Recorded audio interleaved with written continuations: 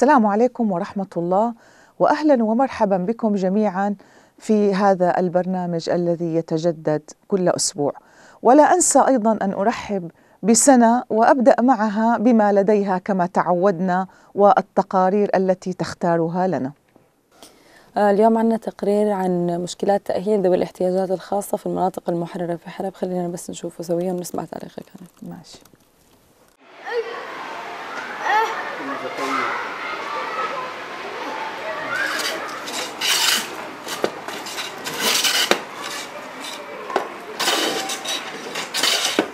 عبد الغفور صابوني الحمد لله إني إجاني هيك بهالوضعية هي. عامل وراثي. آه، صم وبكم ما بيحكي ولا بالقش أيوه. آه، من الولادة طبعا. آه، في إلي أولاد عم معاقين نفس الصم والبكم وهذا إنسان كان يعني إنسان جيد وذاكرته حلوة ودراسته كويسة. كان يدرس بروضه الصم والبكم عند النظام سابقا. وترك المدرسة من أجل هالظروف اللي صايرة في هالبلد هي. ما عدنا نأمنه. بركنا بالمدرسة مدرسة النظامية هون.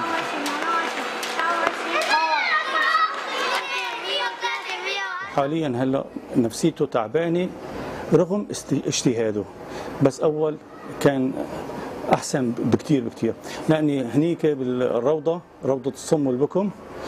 آه، كان مهيئ معلمات كفؤ للتدريس الصم والبكم. لهم دورات لهم مجال اختصاصهم يعني. ما ما يحتاج نحن يسألنا إني حلوا لي هي أو هي. هلأ حل لي هي. إيش معنات هي؟ ما يعني المدرسة العادية ما فهموا. يعني كل تفاحة إلى إشارة.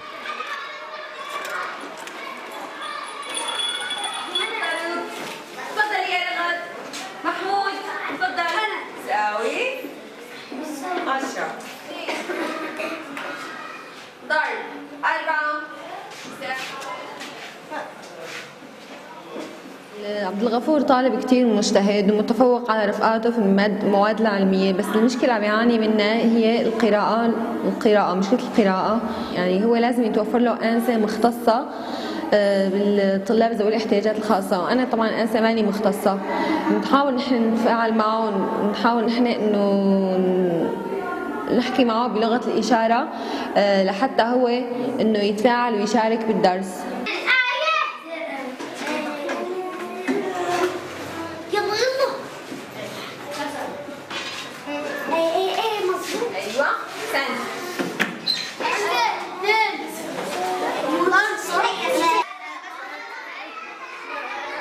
غفور شاطر بنلعب مع بعض نتسلى بنعمل نلعب نرقد نتسلى نبرق جنب بعض.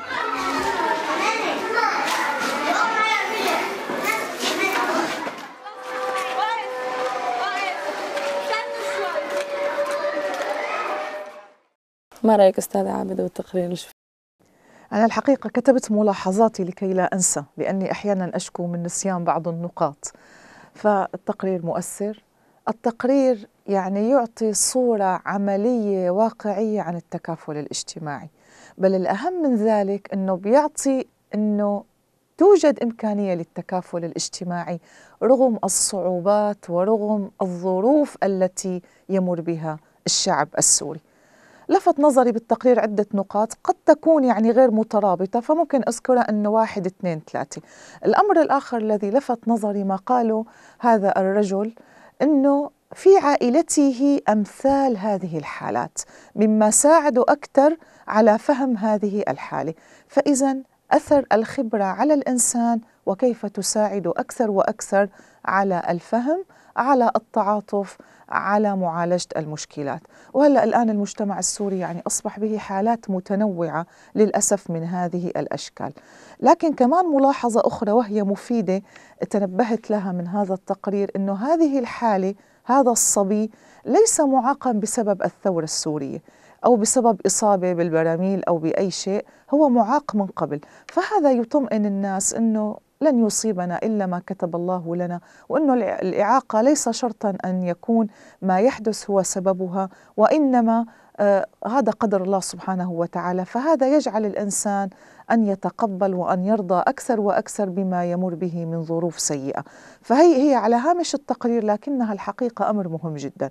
انه ما نظن إنه صحيح هي بأيديهم وصحيح هي تأتي من القصف ومن البراميل ومن الحصار ومن التجويع. يعني أمور أمور أنواع من أنواع الإعاقات ليست هذه الإعاقة بالذات لأني أنا أتكلم بشكل عام. ولكن بالآخر هي من قدر الله سبحانه وتعالى.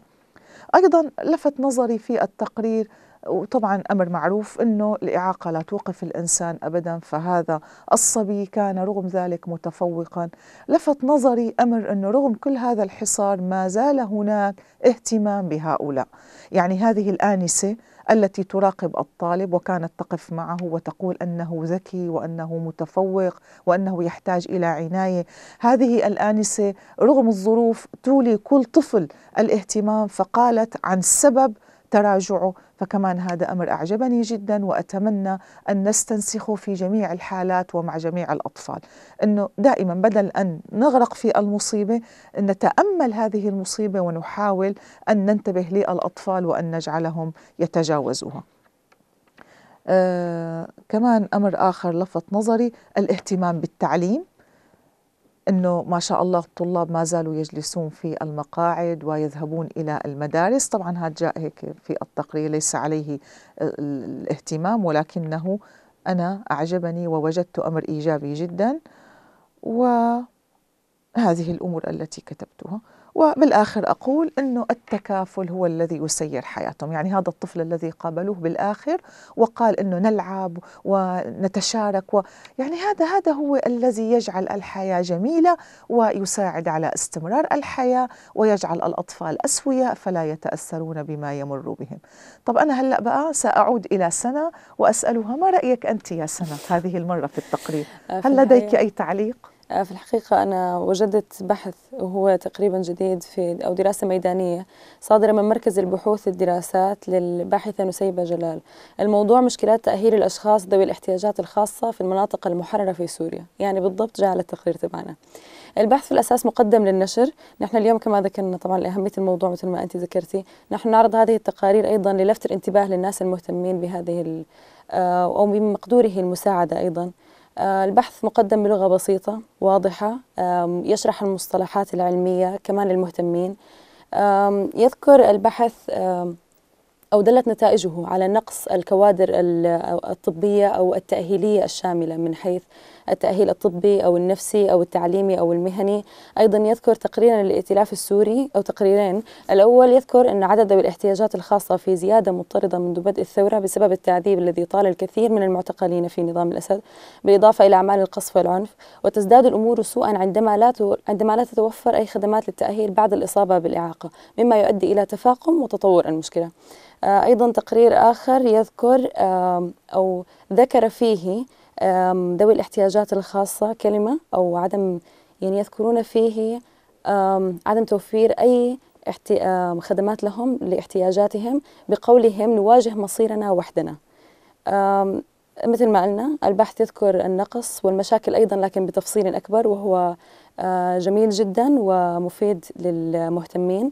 ذكرت الباحثة أيضا في في نهاية البحث عدة توصيات منها ضرورة عمل جميع الأطراف على وقف الانتهاكات وهي السبب الأساسي أو أحد الأسباب المؤدية إلى الإعاقات. آه، ضرورة العمل على تأمين خدمات التأهيل الشامل ضرورة توفير برامج تربوية خاصة تؤمن للأطفال ضرورة تشجيع الطلبة السوريين للالتحاق بتخصصات ذات علاقة بالتأهيل ذوي الاحتياجات الخاصة وهي نقطة مهمة جدا كثير. طيب آه، نتوقف مع فاصل ونعود لإكمال الإجابة على الأسئلة.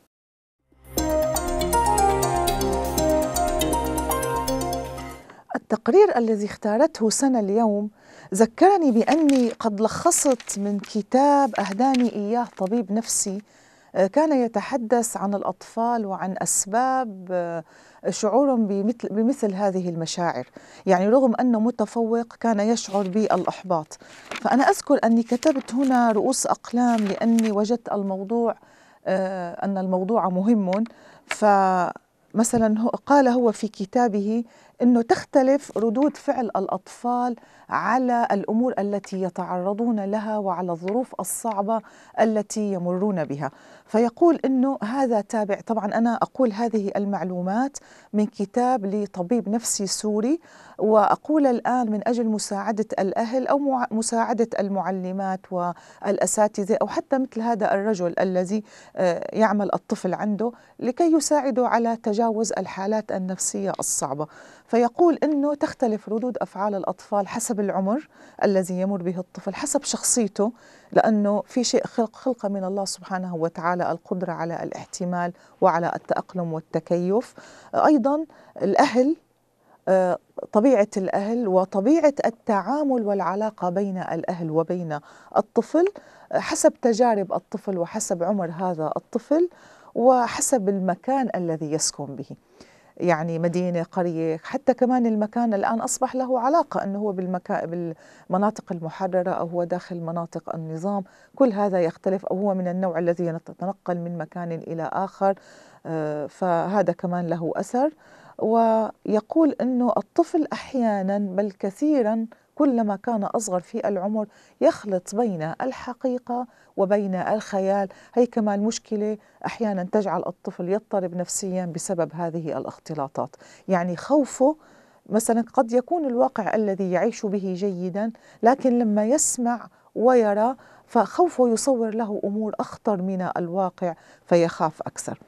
فكمان أيضا يقول في كتابه إنه في إشارات تجعل الأهل يتنبهون الاضطرابات الذي يمر بها هذا الطفل. يعني مو نرى أمامنا الطفل سويا ثم نلاحظ والله فيما بعد أنه هو مضطرب نفسيا لا في إشارات من قبل ويجب على الأساتذة وأولياء الأمور أن يلاحظوها مثل مثلا الحركات اللي غير طبيعية. أحيانا هيك رففة مثلا بالجفون رجفة باليد نظرات زائغة. أحيانا الأم قد تلاحظ تبول ليلي مصلي الإصبع. كل هذه الأمور هي إشارة إلى الاضطرابات. وكلما زادت هذه الأمور كلما دل هذا على زيادة أكثر وأكثر واضطراب أكبر وأكبر. يا ريت نلحقها من قبل حتى ما تصبح مرض نفسي وتحتاج إلى الحبوب وإلى المعالجة. ونحن في غنى عن ذلك طبعا لصعوبة الحصول على الأطباء. أيضا يقول تعلق زائد بالأهل أو بالمربي بالأستاذ خوف من الركوب أحيانا بالحافلة. لعل ما يسمع الطفل إنه والله حافلة انفجرت فيها عبوة ناسفة فقد يخاف من ركوب وسائل المواصلات. آه، كوابيس عدوانية العدوانية أو مثلا مثل هنا ما رأينا بالتقرير الانطوائية أو التراجع بالتحصيل الدراسي. حركات معينة. أحيانا الطفل يحاول بقى أن يثبت ذاته فنلاحظ عليه مثلا مدح زائد لنفسه محاولة لإظهاره آه، هيك حركات غير لائقة كلها تكون للفت الانتباه. فكيف يقول الآن بقى هذا الطبيب كيف يكون العلاج؟ العلاج كما فعلوا هنا ونريد تعميم هذا الأمر مشاركة الطفل الاهتمام به سؤاله التجاوب معه التعامل معه بهدوء وبإيجابية وبتفهم. يقول أيضا آه، توضيح الأمور للطفل آه، شرح الحقائق يعني لا بأس أن يستبقوا ويشرحوا الحقائق للأطفال كيف هو الوضع طبعا من ناحية إيجابية وبطريقة لطيفة. ف وأنه يجب أن يعلم الأطفال أن الحياة بالآخر سوف تستمر لا بأس من أن يقصوا عليهم من قصص السابقين وما مروا به خاصة العلماء. كيف تجاوزوا الإعاقة؟ كيف؟ يعني مثلا من, من, من أيام قليلة كنت أقرأ عن شخص معاصر اقتصادي معروف اسمه محمد شوقي الفنجري. فلفت نظري قصة حياته. يقال أنه هذا كان طبعا هو مصري من مواليد مصر أه ولد عام 26 نشأ في صعوبات لأنه كان وقتها آه، الاستعمار بدأ يسيطر على البلاد العربية وكانت الخلافة قد سقطت من قريب فهو قرر أن يناهض الاستعمار الإنجليزي. ونحن طبعا هلأ سوريا أصبحت تقريبا محتلة يعني ما عاد والله هلأ ثورة. أصبح احتلال واضح احتلال روسي إيراني أمريكي دولي آه، فرنسي كله يقصفنا وكله يريد أن يأخذ خيراتنا. فهو بدأ يناهض الاستعمار الإنجليزي. فأصيب في إحدى المعارك. سقط على الأرض ظنوه قد توفي فأخذوه إلى القصر العيني إلى المشرحة على أساس أنه يتعرفوا على هويته ويقومون بدفنه. فوجئوا أنه الرجل يتحرك. فتبين أنه مصاب بشلل بسبب الرصاصة التي أصابته وبقي على قيد الحياة. بقي بمشفى القصر العيني تخيلوا أربع سنوات تحت العلاج وهو مشلول. خلال هذه الفترة ماذا فعل؟ بدأ يدرس الحقوق. درس الحقوق وتفوق فيها. بعدين أخرجوه من المشفى بقي سبع سنوات وهو يعاني من آثار هذه الإعاقة وفي العلاج. الحمد لله تحسنت حالته فسافر إلى البلاد الأجنبية وحصل على الدكتوراه وعمل في بلاد كثيرة عمل في الجزائر عمل في السعودية وعمل في السودان وألف مجموعة كبيرة من الكتب. هو توفي ليس على قيد الحياة ولكن انظروا إلى سيرة إنسان مر بشيء مشابه لما يمر به الآن كل طفل وكل شاب في سوريا. فهي أمثال هذه القصص ترفع المعنويات وتساعد الإنسان على تجاوز المحنة وتجاوز العقبات. فأيضا يقول هذا هي قصة على الهامش. يقول هذا الطبيب أيضا إنه قد تعجبون؟ هذا رأي الطبيب النفسي انه الأطفال لديهم قدرات أكبر من الكبار، نحن دائما نخاف على الأطفال، نقول إنه هي العقد سوف يحملونها إلى ما بعد، سوف تؤثر على حياتهم، على زواجهم، على تربيتهم لأبنائهم، حصيرون يعني سوف نحصل على معاقين مدى الحياة. إن لم يكن جسديا فنفسيا، لكن بالعكس الطب النفسي يقول أن الطفل أقدر على التكيف وأقدر على تجاوز المشكلات. وهي الحمد لله لصالحنا لأنه نحن نعلم أنه أكثر الشعب السوري فيه نسبة الأطفال والشباب أكبر من نسبة الكبار في العمر. فيقول أنه بس ننتبه لهم ونحاول أن نعطيهم الإيجابية وكيفية تجاوز العقبات. أيضا هناك كلام هذا الطبيب له كتاب آخر عن السجين أتكلم عنه في مرة مقبلة لكي يعني ننوع بالحلقة وأيضا لكي لا ننسى. يعني أنا وجدت أنا أحب أن أخصص كل حلقة لموضوع لكن كمان لا بأس أنه في حلقات تالية أن نستعيد نفس الموضوع الذي سبق وتكلمنا عنه لأن الموضوعات بالآخر سوف تتكرر المشكلات سوف تتكرر فنحن أيضا نكرر الكلام عنها لكن من جانب آخر من زاوية أخرى من سؤال جديد. فنتوقف ونعود إلى الأسئلة. مع سنة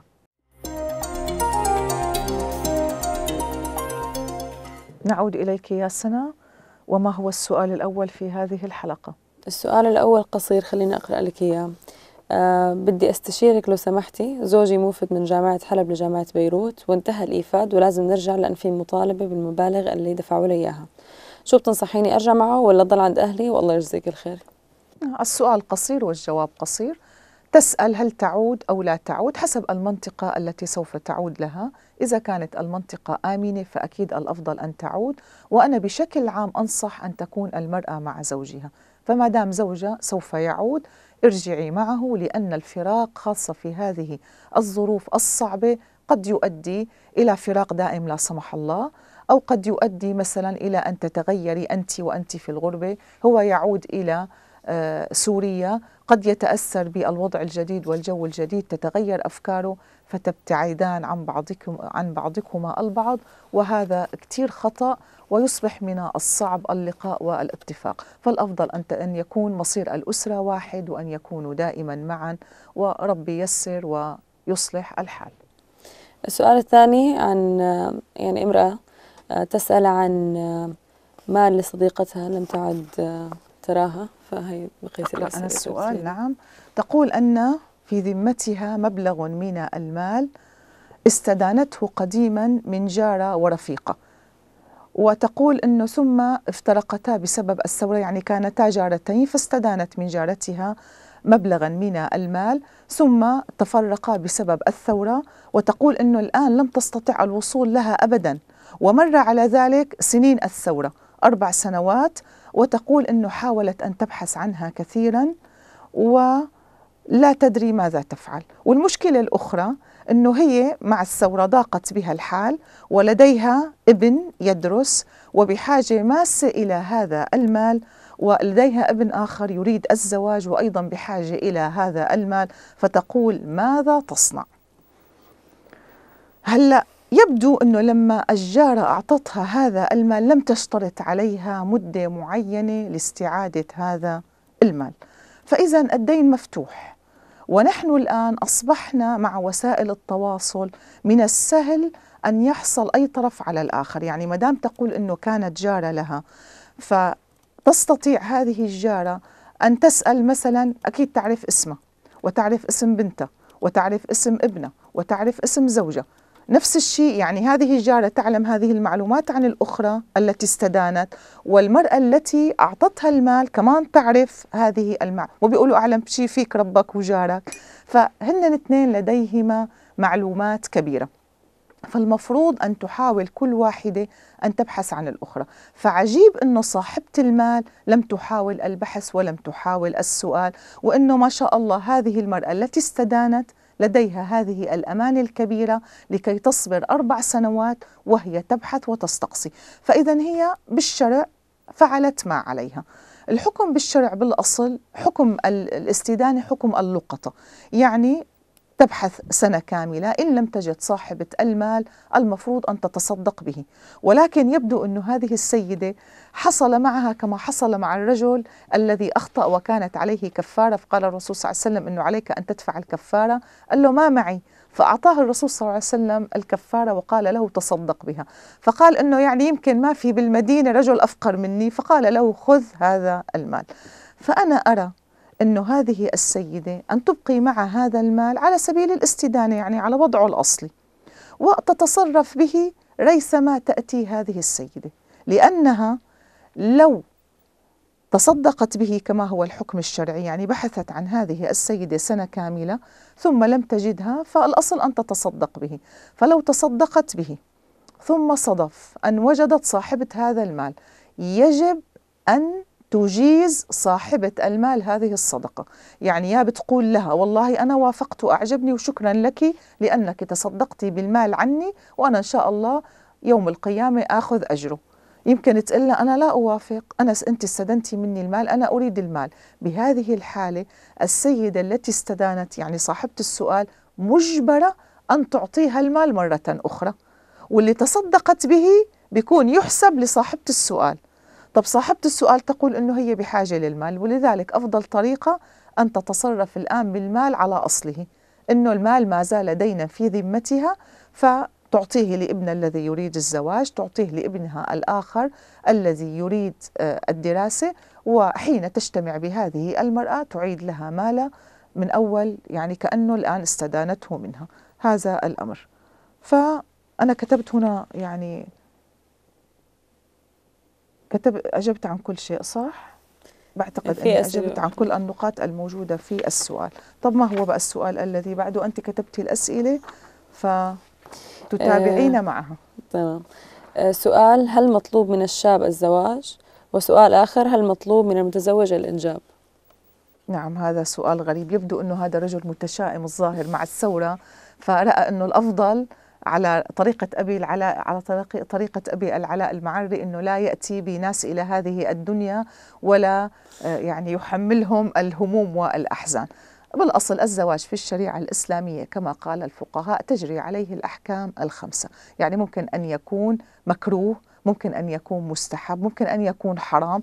كيف؟ طبعا إذا الإنسان ليست له حاجة إلى الزواج وليس معه المال الكافي مثلا ممكن أنه يكون حتى شخصيته يعني غير من الناس اللي يحبون التوحد الحياة منفردا فإذا جاء أحد وعاش معه قد يختلف معه قد يسبب له الأذى. فهذا أكيد الزواج يعني ما بصير أن يأتي بامرأة ثم يظلمها أو يضربها أو يعصب عليها ما معه مال يصرف عليها فخليها قاعدة ببيت أهلها معززة مكرمة أو تتزوج رجلا آخر.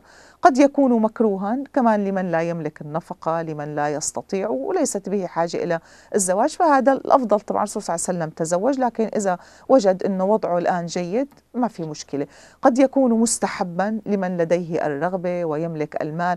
قد يكون واجبا للإنسان القادر على التربية القادر على التوجيه القادر على إعالة المرأة الذي لديه رغبة شديدة في الزواج. هذا يجب عليه الزواج لأننا نخاف عليه أن يقع في الحرام وقد يكون الزواج مباحا. يعني لا هو حرام ولا حلال ولا مستحب هو أمر مباح بالنسبة لبعض الناس الذين يعيشون حياة طبيعية والآن لا يشعرون برغبة ممكن بعد مدة يشعر فهو بالنسبة له مباح. وأما إنجاب الأطفال فأيضا كمان تنطبق عليه نفس هذه الأحكام. فمعه حق يعني يمكن الظروف أصبحت صعبة فما يقول أنه أنا ما بدي أتزوج نهائيا ما يقول ليس واجبا يقول أنه الآن أنا لا أشعر بهذه الرغبة ولذلك لا بأس أن أؤجل الموضوع أي لا بأس أبدا أن تؤجله ولكن لا تنوي أنه أنا والله ما لا أريد الإنجاب ولا أريد الزواج خليها على الظروف وخليها على التيسير و يعني ربي ييسر لكل شاب يريد ما, يريده سواء يريد الزواج أو لا يريد الزواج. وإذا تزوج لا بأس يعني إذا شعر بس برغبة بالزواج ووجد إنه الإنجاب صعب بسبب كثرة التنقلات بسبب ضيق ذات اليد كمان لا بأس أبدا أن يؤخر الإنجاب سنة أو سنتين ولكن أن يكون ذلك بالاتفاق بين الزوج وبين الزوجة. جاءتني إشارة أنه انتهى الوقت الحمد لله كثير يعني كان مناسب مع انتهاء الأسئلة. فنتابع مع الأسئلة الأخرى يبدو في أسئلة أخرى أليس كذلك؟ آه، في نؤجلها. إلى الحلقة القادمة ونودعكم أنا وسنة إن شاء الله إلى حلقة قادمة. ونتأمل أن أن أستقبل على صفحتي المزيد من الأسئلة ومن التفاعل عن هذا البرنامج وعن ما يلقى فيه من آه، آه، أسئلة وموضوعات. والسلام عليكم ورحمة الله وبركاته.